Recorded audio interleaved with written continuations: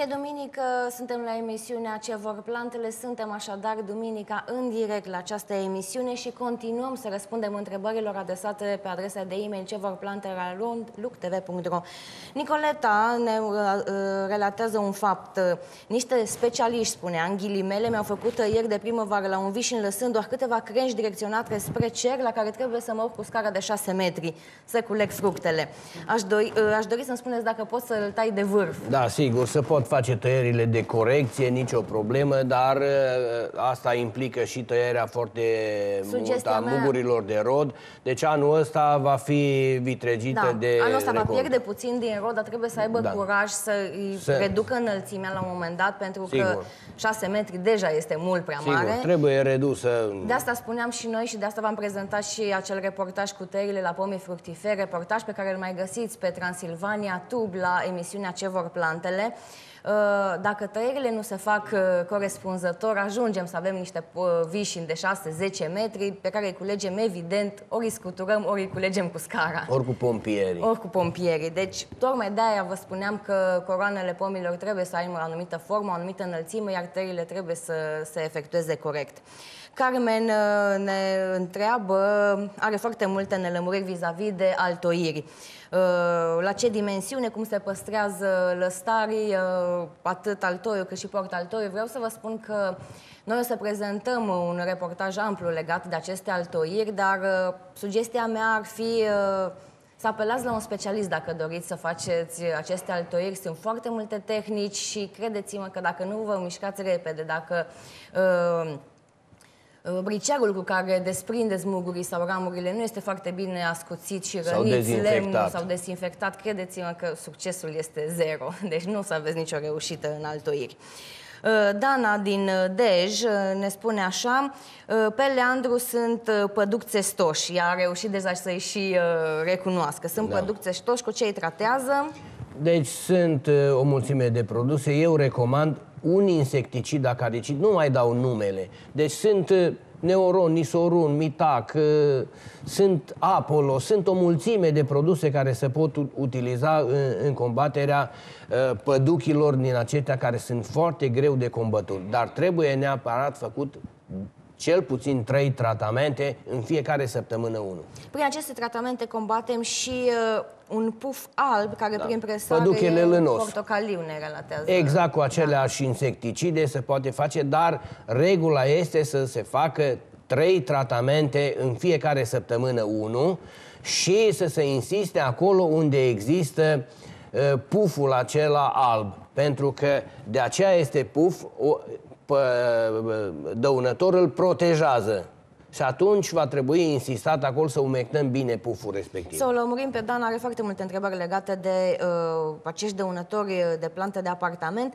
Mai spune că are un ficus benjamina, uh, iar la uh, codiță apare un dăunător sub formă de cristal de zahăr. Tot cu aceste insecticide. Nu, nu, nu, aici este o altă problemă. Poate să fie o bacterioză. Numai acolo apar uh, exudatul, ba- a- unde atacă o bacterie, apare exudatul bacterian. Și atunci va trebui să folosească un bactericid. Eu recomand, există în comerț, în afară, produsul Casumin, uh, perfect pentru așa ceva. Ilie ne spune că m, dacă poate folosi sulfatul de cupru în loc de cupru metalic. Se poate folosi în perioada de repaus vegetativ, eh, să nu-l amestece cu nimica, eh, 1% concentrația sau 100 de, eh, o, eh, 1 kg la 100 de litri de apă. Uh, Nicușor, uh, am în fața casei gazon de 4 ani uh, și uh, de câțiva ani a semnalat că se extinde o plantă de care nu poate să scape. El spune că ar fi recunoscut-o fiind oxalis. Nu, este foarte, foarte Aș simplu. ruga uh, colegii mei uh, să ne și afișeze această Da. da. buruiană de care... E, e, combaterea în gazon este foarte simplă. Acolo unde se instalează buruieni cu frunza lată, pot să folosească uh, mai multe erbicide. Dacă nu-l deranjează mirosul, poate să folosească sarea dimetilamină. DMA 600. Dacă deranjează, este pe lângă casă și deranjează, atunci poate să folosească produsul Mustang. Un uh, uh, ierbicid care nu are miros și are un efect uh, Perfect, Și pentru ca a să fac și eu- combate frunzele, numai buruienile cu frunza lată, gazonul rămâne. Ca să fac și o glumă, această plantă a fost prima plantă pe care am reușit eu să o recunosc la cercul de botanică, fiind în clasa 5 făceam cercul Da. de botanică și acel profesor ne spunea că a- planta Oxalix este numită și macrișul iepuresc. Dacă Da. o gustați, veți vedea că are un gust bun, plăcut, acrișor. Da. Nu știu dacă se poate găti, dar oricum este comestibilă. Deci dacă nu vreți să o stripiți, puteți să o gătiți. Dar în gazon arată urât. Da. Un alt telespectator uh, ne expune mai multe probleme legate de cutui. Am uh, răspuns, tot așa Da, îi se... monilinia este boala care se poate Iar trata. la măr ne spune el că apar pete maro și uh, fructele cad la începutul toamnei, neajungând la Da, maturitate. este vorba despre rapăn și uh, rapănul atacă și masa foliară, apar, atacă și fructele și în momentul când atacă fructele, fructele unde atacă să crapă puțin, acolo să cicatrizează rana, dar să extinde, devine maro și după aceea fructul nu mai este Să facem precizarea comestibil. că telespectatorul ne semnalează faptul că are în preajmă albine și uh, tratamentele pe care le aplică n-ar vrea să Chestiunea cu deranjeze albinele este un pic mai delicată, deci în momentul când se hotărăște să facă tratamentul, închide albinele seara și le dă drumul a doua zi după efectuarea tratamentului. Aș vrea să îmi cer scuze uh, în numele echipei ce vor plantele. Se pare că centrala telefonică din nou a cedat uh, datorită solicitărilor. Uh, Așadar ne cerem scuze, nu mai puteți intra în direct uh, cu noi, uh, așa cum v-am promis la începutul emisiunii. Ne cerem încă o dată scuze. Centrala telefonică se pare că nu suportă apelurile, uh, foarte multe apeluri telefonice. Nicușor uh, ne spune așa că are o cultură de trandafiri cu ce îngrășământ uh, poate... Deci la trandafir ca și la pomii fructiferi, fie îngrășăminte naturale, dar să fie uh, bălegar de bovină sau uh, să, de oaie sau chiar uh, găinați, nici de cum bălegar de porc sau de cal, sau dacă nu are la dispoziție asemenea îngrășăminte naturale, poate să utilizeze îngrășămintele complexe, dar să aibă toate cele trei elemente, azot, fosfor și potasiu. Scrie pe sac 15, 15, 15. Elena ne semnalează faptul că în ghiveci, pe pământ, a descoperit niște pureci care stau uh, mai mult sub pământ. Da, să folosească produsul Calypso și să facă tratamentul din când în când, o dată la două, trei săptămâni, să m, poată să, să înlăture și e, e, pentru planta respectivă îi recomand să folosească și Previcur Energy. Uh, m, Pentru plantele respective ne spuneați la trandafirul japonez. Ați da. devansat puțin întrebările, ne mai relata și faptul că pe frunzele trandafirului japonez au apărut niște puncte negre, iar dacă se uită în lumină, se par găurite frunzele. Acolo, mă rog, este o problemă și legat de acarieni. Sunt, nu-i vede cu ochiul liber, sunt insecte extrem de mici, cu o lupă poate că îi poate vedea, dar trebuie să-i și recunoști. Și atunci, acolo va trebui să folosească un insecticid acaricid de gen Neuron, Nisorun, Mitac, Seizer, Talstar. Aceiași, uh, aceleași substanțe pe care le-ați recomandat adineauri sunt uh, bune și pentru uh, calatea, tot o floare decorativă. Da, dar acolo are o altă problemă și îi recomand să folosească produsul CEM sau Champion în combinație cu produsul Ditane. Pentru ne relatează faptul că îi se uscă Apar pe frunzele la frunze, vârf. exact, și e, zice că frunzele nu sunt tari, sunt moi. Da. Deci acolo este vorba de o bacterie. Este o bacterioză și atunci va trebui să folosească un bactericid. Va, uh, Gavril ne spune că la vița de vie o are de 20 de ani și anul trecut au început să se usuce cu tot cu struguri. Da, probabil că acolo este o problemă uh, legat de, de putregaiul cenușiu. Uh, acum, în perioada aceasta, trebuie să facă tăierile, iar după tăieri să facă tratament exact cum am recomandat la pomii fructiferi, cu un produs pe bază de cupru și cu ulei.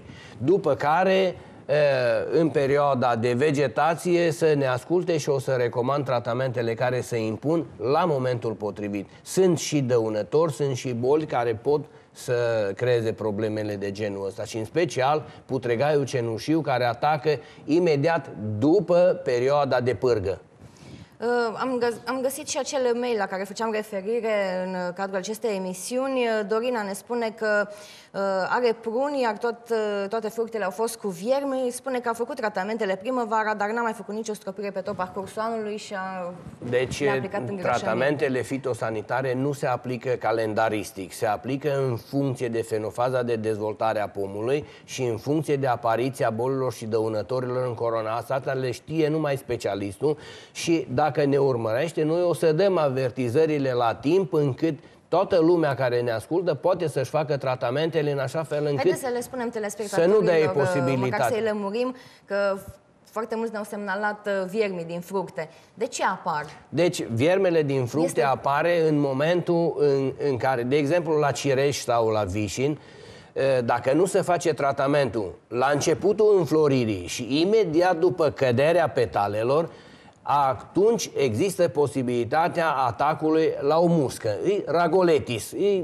eu de, spun Asta denumirea... vreau să, să știe Așa? telespectatorii când viermele nu urcă pe pom și, nu, intră în fruct. Și musca respectivă sau viesprea respectivă își depune câte un ou în fructul în formare, când sâmburele este mole.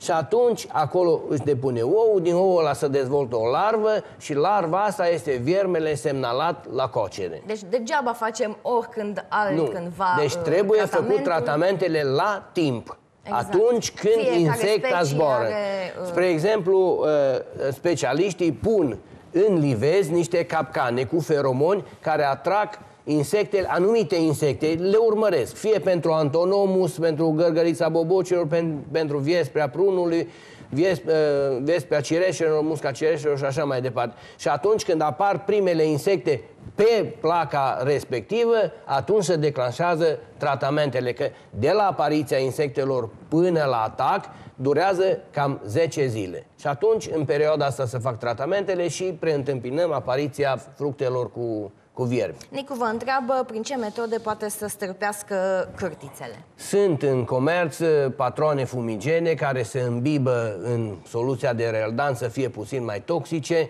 să dă foc, să introduc în galerie, să astupă galeria și efectul este perfect. Larisa ne întreabă cu ce poate să combată pirul din gazon.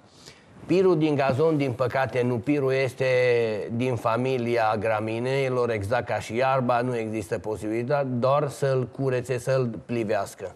Și dacă are în gazon și gălbenele și Dacă are gălbenele, acolo se poate aplica fie sarea dimetilamină, sunt mai multe ierbicide care premiantul este tot așa sau dacă nu suportă mirosul la, la ierbicidele acestea, poate să folosească mustangul sau uh, secatorul. Sunt foarte multe ierbicide. Singura chestiune este să se uite acolo uh, în, uh, în, pe etichetă scrie pentru grâu orz. Da. Ierbicid. Liviu ne întreabă cu ce se combate pirul din terenul ala- arabil. Din terenul arabil simplu, cu un ierbicid total, este cea mai eficientă treabă. Dar dacă are cultură, spre exemplu porumb sau, uh, mă rog, atunci poate să aplice pe vegetație produsul Titus sau Titus Plus. Sunt mai multe. Fie că uh, aplică Merlin Duo sau Guardian sau sunt multe uh, uh, lucruri de, de spus în privința întreținerii culturilor, dar dacă este terenul liber, ierbicid total. După, tre- după două săptămâni poate să cultive ce dorește.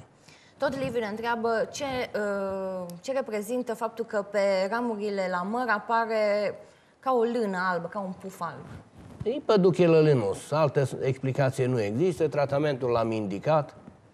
Și uh, rapănul la măr, tot așa o să revenim noi cu tratamentele la momentul Și o să și respectiv. facem in, e, e, ilustrație ca să-și dea lumea seama care este diferența între rapăn, între ervinia, monilinia și așa mai departe. Le și explicăm ca să, să poată lumea să, să le recunoască. Anastasia mai ne-a ușor. trimis uh, pe adresa de e-mail două poze. La prima ne spunea că are o, apare o buruiană în, uh, în cultură. În...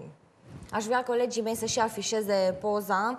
Uh, Cum poate să stârpească această uh, buruiană din cultură? Dacă, simplu, asta se poate, se poate stârpi, e, de exemplu, cu premian, sare dimetilamină, icedin, oltisan, sunt multe ierbicide care... Nu ne-a precizat și în ce Deci cultură. să folosească, dacă, depinde în ce cultură. Dacă este Vița spre... de vie și pom fructifer și trandafir. atunci uh, poate să aplice și un ierbicid total cu o singură...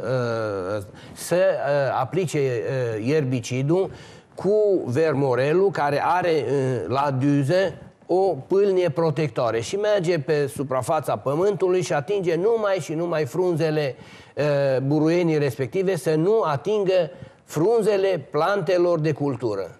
E lucru foarte important. Tot Anastasia ne-a mai, ne mai trimis o poză cu un arbust a cărui frunze se uscă la vârf. Ce înseamnă și cu ce să-l trateze?